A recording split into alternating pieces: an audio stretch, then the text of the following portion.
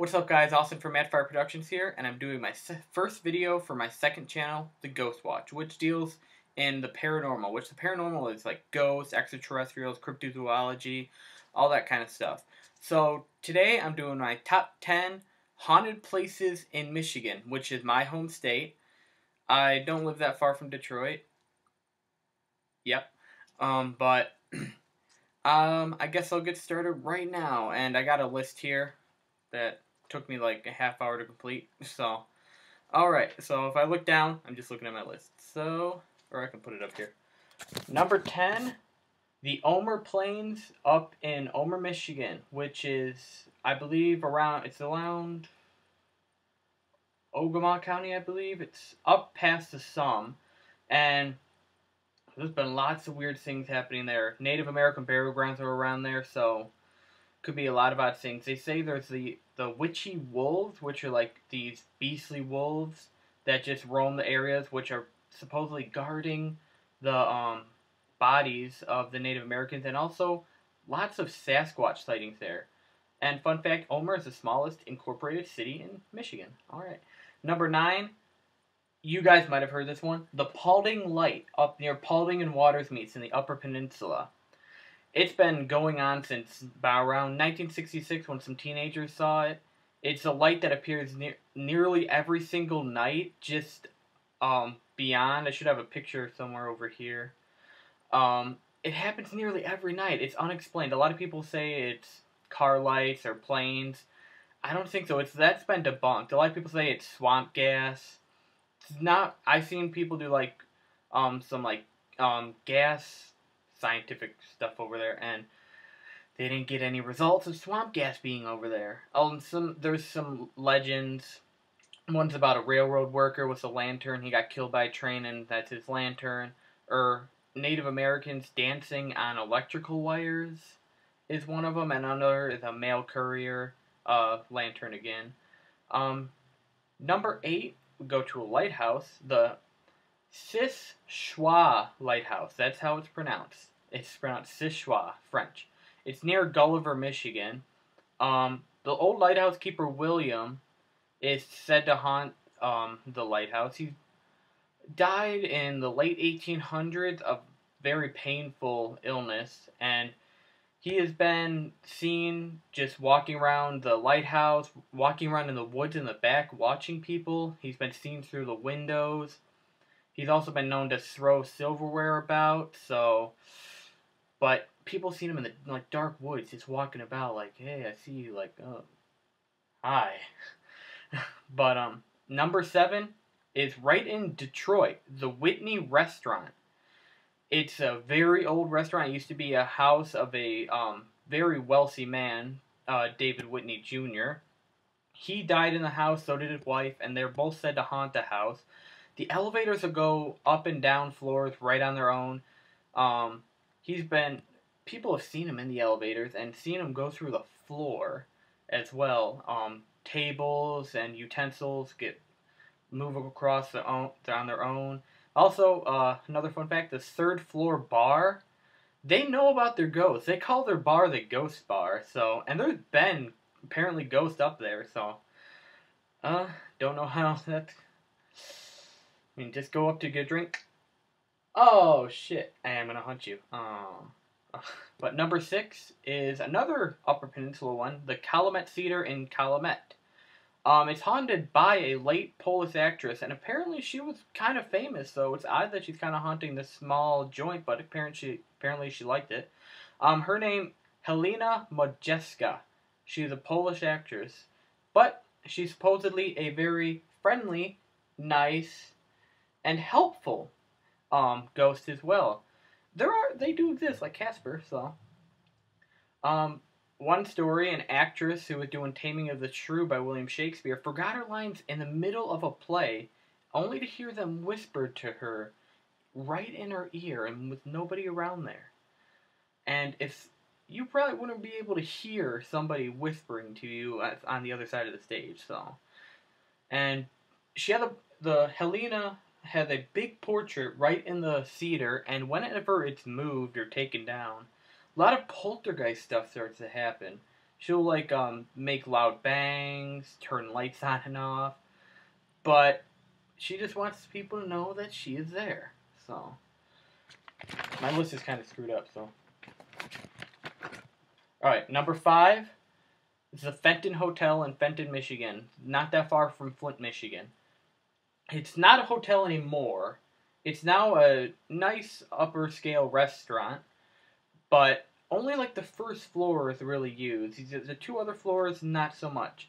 There's an old custodian that haunts his former abode because he used to live in the second floor, and named um, Emery. He's he's another nice spirit. He's considered a gentleman. People hear him walking upstairs, and when um, customers are leaving or stuff, he'll start slamming on walls to make to the the wait staff.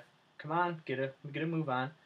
Um, there's also a figure that will sit in a corner stool and always order a whiskey, and when the uh, waiter brings it back, he is no longer there. Um, people having their names heard, touched, all that stuff. Um, even being hugged, I've heard. So, and that's just three of the supposedly many, many spirits that haunt the Fenton Hotel. So, number four is the entire campus of Michigan State University. Michigan State, known for their um, awesome sports teams, nearly every building on the campus is haunted. At least five of the residential halls are haunted. Um, moving elevators, whispers in said elevators, alleged satanic rit- rituals in one of the halls, electronics turning off and on by themselves, figures dancing in cafeterias, shadow figures seen in the gardens, odd noises from the auditorium, and like an odd one like um one or two students die oddly every year from Michigan State University, which that's actually kind of true because I hear the news and everything around here, so that actually is sort of true. So that's kind of an odd one. I have friends that go there, so I'm kind of kind of odd. Stop turning off computer. Number three is the Felt Mansion in Saugatuck, Michigan, which is on the western um, coastline of the state by Lake Michigan. This is an odd one for you. Um, there's been shadow figures seen, doors open and close on their own. Um, what's her name? Agnes Felt. She supposedly died of a stroke, but it's also been said that she committed suicide by jumping out her window, and she's been seen countless times reanimating that jump out of the window. Her husband said she died of a stroke, maybe to just cover up that she killed herself. We may never know. Behind the mansion was a former correctional facility. Only one building stands, the Dunes Correctional Facility. And there was a rumor that it used to, it was called, this is just a, mostly a legend, but uh, there have been sightings, people calling it the um, Junction Insane Asylum, where these creatures called the Melonheads escaped, which they were suffering from a disease called hydrocephalus, where a ton of liquid liquid liquid gets into the brain and swells it up. And that's a real disease and they say a lot of the patients escaped and are now feral, roaming through the woods and hungry for anything they can find wandering in the woods. Um, believe you me, I don't think I'm gonna go hiking in those woods. There's a BMX trail back there. Good luck if you want to do that. Number two is the Soup Cemetery in Belleville. Belleville's a suburb of Detroit. It's not that far. I have firsthand experience here because I'm with a paranormal group based around uh, downriver Michigan, and we we investigated here, and I'll show you a picture I caught of these red eyes. It should be somewhere over here. Oh my god, it's creepy. I those there's no reflective surfaces or anything. Those are and when you zoom in, you can see figures where those red eyes are. So there's something going on there. I mean, people have been grabbed, dark figures scooting in and out behind trees and headstones, red eyes all over the place, feelings of being watched and shouldn't be there. Uh, I know firsthand how creepy the cemetery is at night, so that's why I have it so highly rated. A lot of people say don't go there. It's right next to a huge apartment complex and right off of I 94. It's in the middle of lots of people, and it's old, very old, and it's extremely haunted. So it's just odd placement though. And now number one, the entire village and island of Mackinac Island. Oh, if if you haven't been to Mackinac Island, you really got to go. It's a, it's amazing. There's like no cars are allowed on the island. It's beautiful. Tons of awesome things to do there and see. It's just just fantastic. But it's also incredibly haunted. Um, you have Fort Mackinac, which was built during, around the Revolutionary War. Not really used too much then, but when the War of 1812 started, there was a couple battles that took place there, and um, around uh, 70 Americans were killed or wounded, and all that energy can go- conglomerate into one spot. It's gonna make for some bizarre encounters. So there's been lots of soldiers seen around there, around the island, just marching. There's been skeletons found in there. It's now a huge, um, basically museum. It's really, really cool. They do reenactments also. It's very. I actually have a couple reenactments on my other channel, Madfire Productions, if you want to go check those out. So then there's um the Grand Hotel. Such an imposing but beautiful structure with the longest porch in the world. Built in 1887, I believe. Um, there's it had countless share of people visiting there, and also few skeletons in their closets. Almost literally, almost literally.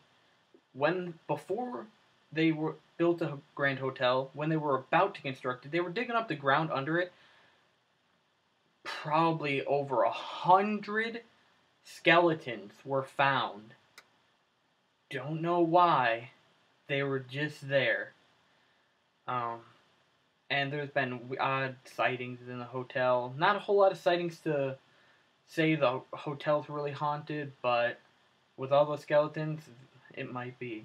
Also on the island, you have Mission Point Resort, where there's a ghost named Harvey, who was a former college student whose girlfriend dumped him. He killed himself. He's been known to like, he's a prankster. He's not a, he's, he's not an evil ghost. He's just a prankster. So he'll play pranks a lot, a lot of times on girls, and he'll slam stuff and like turn stuff on and off.